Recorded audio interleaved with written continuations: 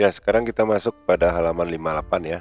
Ya, 58 bagian writing, bagian H. Yaitu task uh, writing itu tugasnya adalah menulis. Jadi kita di sini akan menulis sebuah surat lamaran. Nah, kita perlihat uh, apa berdasarkan apa tuh surat lamaran yang akan kita buat. Nah, ini dia ya, berdasarkan uh, la, uh, apa? lowongan pekerjaan yang ada. Nah, kita lihat tasnya pertama dulu, bacalah teks secara seksama. Jadi kita kerjakan teks pertama dulu. Di sini ada sebuah uh, lowongan pekerjaan muncul pada uh, koran lokal hari ini. Bacalah lowongan tersebut dan pertimbangkan apakah kamu cocok dengan kualifikasinya atau tidak. Nah, kualifikasi itu artinya adalah eh, apakah kamu cakap atau cocok dengan atau punya keahlian di bidang tersebut. Nah, itu disebut dengan kualifikasi. Jadi bisa dalam bentuk ijazah, dalam bentuk eh, pengalaman, bisa bentuk eh, kecakapan, bisa macam-macam. Itu salah satu kualifikasi. Jadi ada batasnya. Nah ini judulnya vakansi lowongan. Nah ini Apika Plaza nama tempat. Sebuah showroom ya showroom yang terkenal dan mapan ya showroom. Showroom itu ruang pameran ya. Sedang mencari untuk menca uh, memenuhi uh, lowongan pekerjaan dari individu-individu atau orang-orang yang punya kualifikasi ya yang yang punya kecakapan ya bisa punya ijazah ya punya pendidikan yang cocok termotivasi dan berpengalaman. Nah, itu jawab apanya terjemahannya.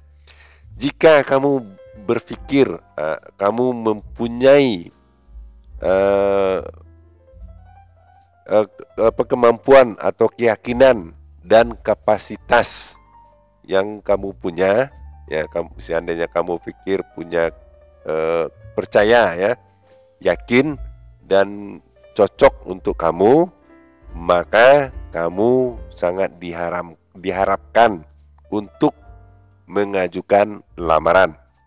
Posisinya adalah sales eksekutif. Sales eksekutif ini adalah eh, bagian penjualan langsung ya kepada konsumen.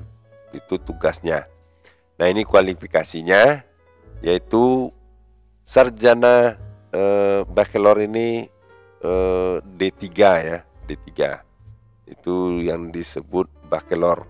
Atau bisa kalau di sarjana bisa juga eh, sarjana muda bisa.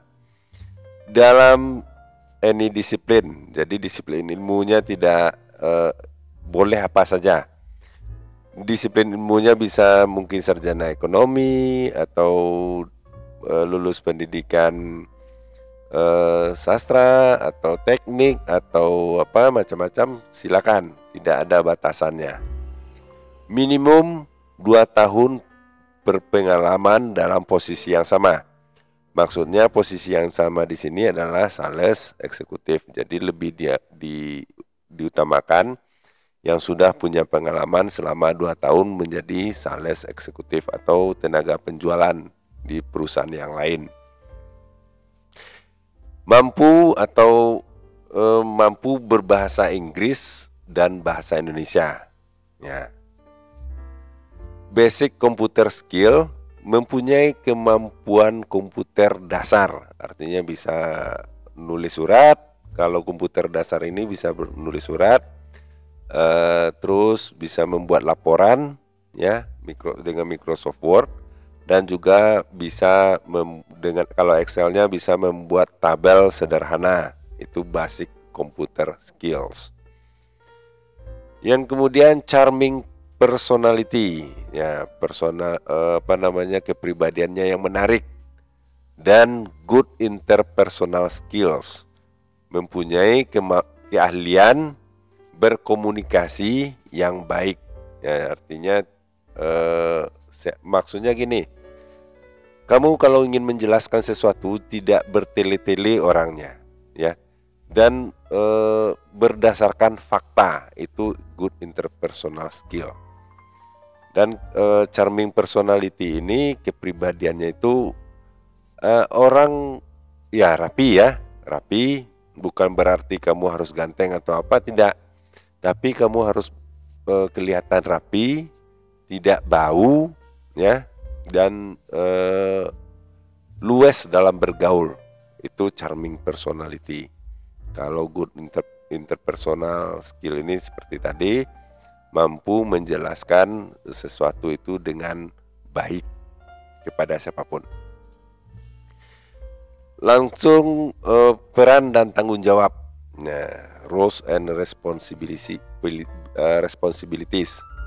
Peran dan tanggung jawabnya apa?